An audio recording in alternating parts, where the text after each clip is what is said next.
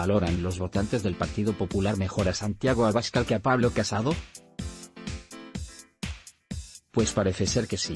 Así al menos lo confirma hoy el diario El Mundo al publicar un artículo en el que se hace eco de los sondeos internos que maneja el propio partido de Santiago Abascal. Algunos sondeos del Partido Popular recogen que Vox lograría menos de un 5% en las elecciones del 4M en Madrid. Pero en la formación de Santiago Abascal no tiene ninguna duda de que el partido logrará un buen resultado en las elecciones autonómicas, siguiendo así con su crecimiento a nivel nacional.